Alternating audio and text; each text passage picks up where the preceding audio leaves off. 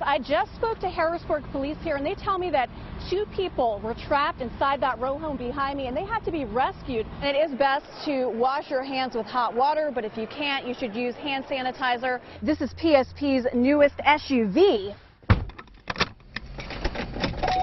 The color going from white to gray. And they have sparklers like these here, which are legal in the state. She declared victory in a huge celebration just about an hour ago. This may just be a piece of wood right now. But what's here in this woodworking shop now is going to impact hundreds of lives. Well, Amanda, Roberto Gutierrez just moved into his house a month ago, and that home, which sits here behind me, is now condemned. Computer vision syndrome becoming more common. A Perry County woman hopes to have this mailbox full soon. Chris had to use about two rolls of this Gorilla Tape to keep his wheelchair from falling apart. But that's not something he's going to have to worry about for much longer. Boats just one of the things here at the show this year. Another thing, security. He's having some transmission problems with his car, encouraging people to behave or have to deal with this. What was his name on Roseanne? Um, Dad. Dad. Working for you in Camp Hill, I'm Dawn White, ABC 27 News. Dauphin County District Attorney Ed Marsico says this all started over some very nasty social media posts and then ended up with a boy being shot on that lawn behind me.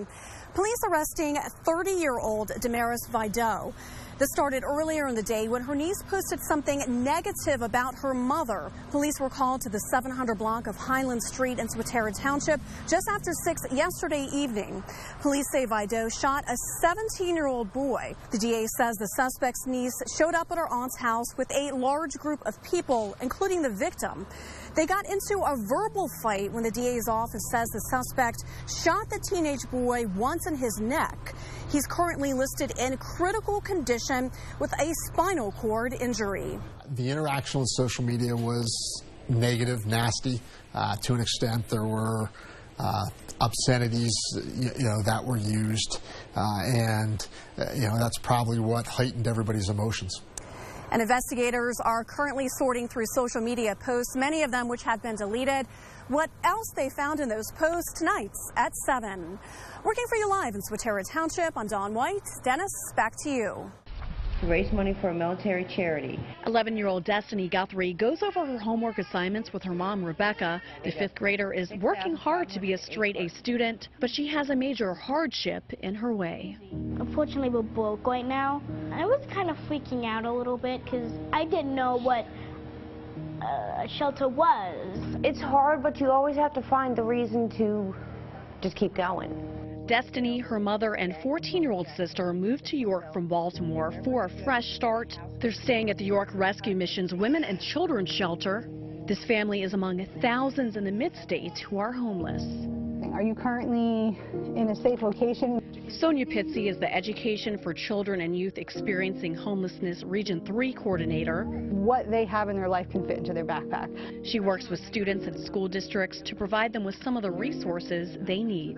If they need any school supplies, I can supply them with that, or the school districts can supply them with that. Pennsylvania had more than 11,000 homeless students in 2007. It's more than doubled since then. In Pennsylvania, we have 26,000. Any of us can be in this situation. A lot of people are only one paycheck away from becoming homeless. Pitsy says people can contact their local school district or shelter to help kids like Destiny who are part of this staggering statistic. Destiny says she's tired of classmates teasing her for being homeless and picking on her for things she can't control, such as not being able to afford shoes like these. They were making fun of me because it wasn't a name brand, like Jordans or Adidas or something fancy like that It makes me feel upset and makes me and it makes me feel not wanted. Destiny has a message for the entire mid-state. If you see someone on the street and you have possibly some spare food, share. At least try to help that person. I can be their voice for them, that they don't have to be the poster child. I'll be their voice, and I'll believe in them until they can believe in themselves, because there's just greatness in them, and they just need to know that, that that's going to come out greatness Destiny aspires to as she learns from her challenges and looks forward to the next chapter in her young life.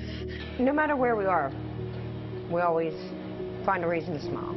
Working for you in York, I'm Dawn White, ABC 27 News. Chris Kennedy has been dealing with his disability since birth, but it hasn't stopped him from setting big dreams and inspiring the entire community.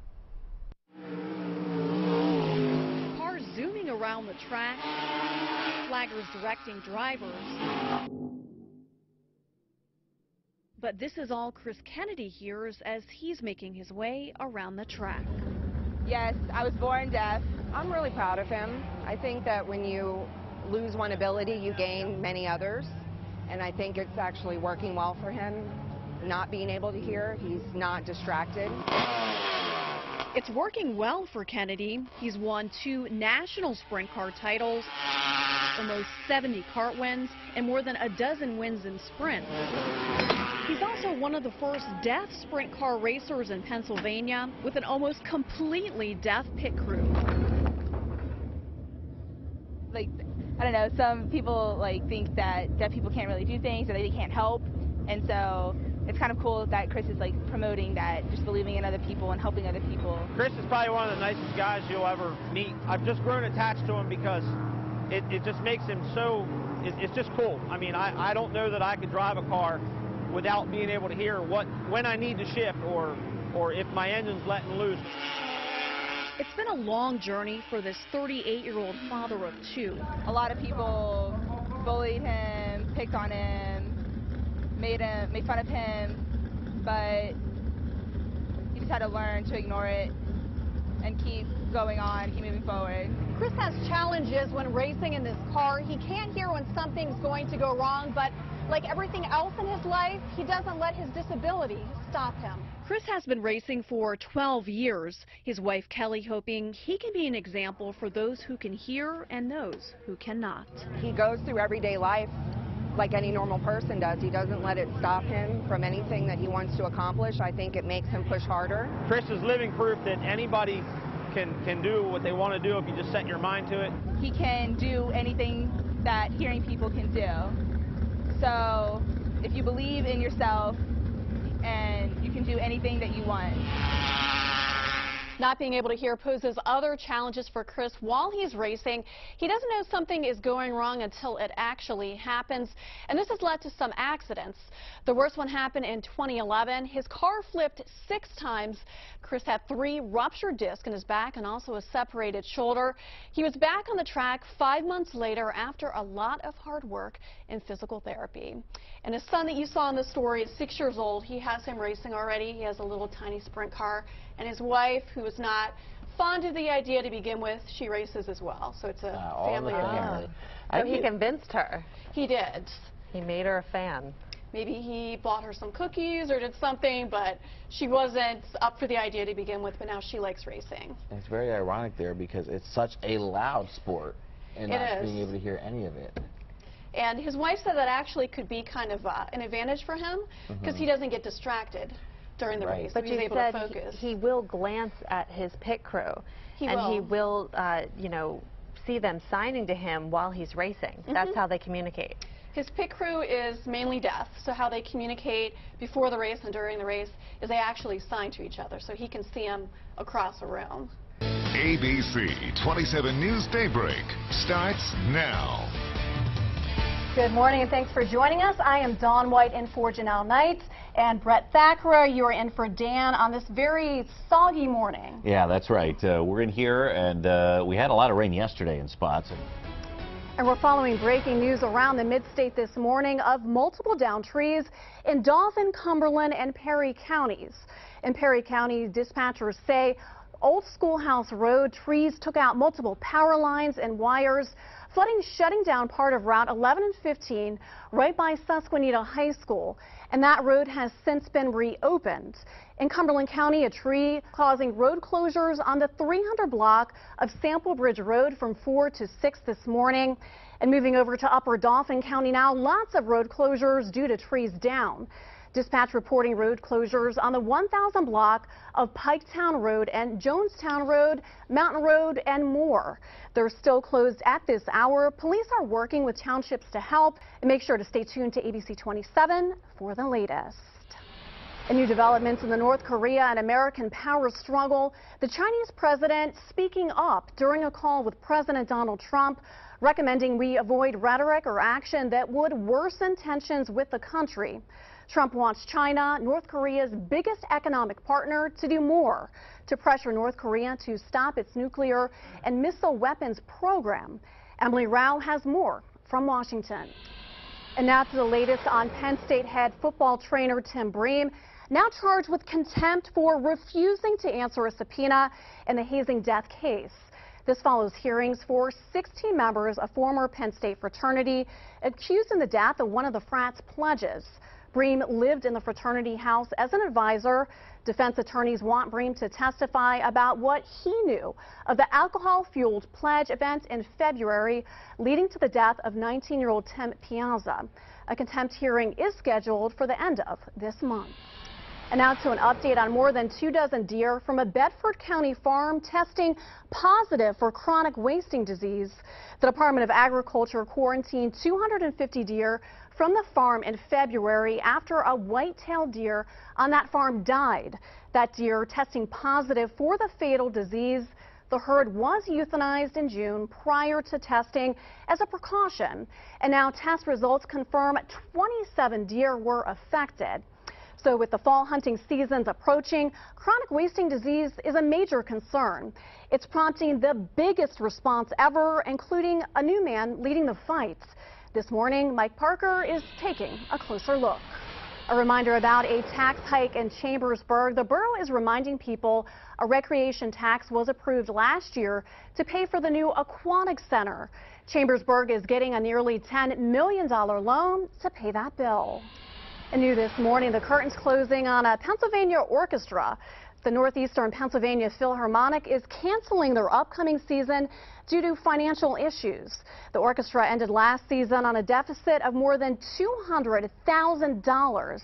The 45-year-old orchestra will play one concert in October and then shut down while it figures out its next move.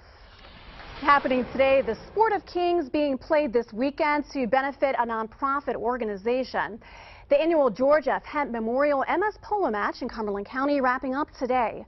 Last night was the Denim and Diamonds reception for sponsors, emceed by our very own Dennis Owens. The match today starts at 2 in the afternoon. Gates open at noon at the field just off the Carlisle Pike, across from Cumberland Valley High School.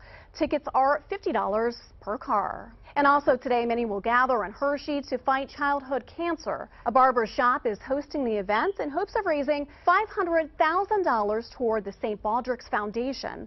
The event will also include raffles and games. It runs from 1 to 4 this afternoon. It runs Barber Shop. And women will gather in Cumberland County today to celebrate their differences. The Diverse Women's Summit happening at the Highmark Care Place Redhead Yoga Studio in Lemoyne. The free event is to celebrate an inclusive community while raising awareness about unconscious biases. Well, don't go away. There's much more ahead on ABC 27 News Daybreak. Dennis Buterbaugh is back behind the wheel of another cool car. The look of the Dodge Durango hasn't changed in years, but there's a lot of new features for this year's model. Hear Dennis's review after the break. And Facebook launching a new video service this week the original reality and sports shows you'll be able to watch. But first, it's time to salute today's military hero. Today we honor Fire Control Technician Striker Second Class Michael W. Smith. He served in the U.S. Navy from 1965 to 1975 on the USS Newport News during the Vietnam War. He received numerous awards, including the Vietnam Service Medal and the National Defense Service Medal. We salute you and thank you for your service. And one thing that makes everything better is cheese. Yes. And you may be wondering how many types of cheese that you can fit on a pizza. I've always wondered that. Two, three, maybe more. How about a world record of 112?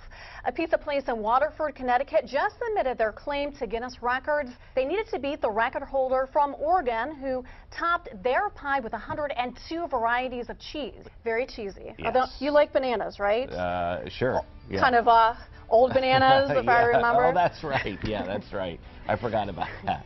well, thanks for watching us. We will see you right back here at 6 o'clock. Yes, we will. We'll see you tonight. Thanks.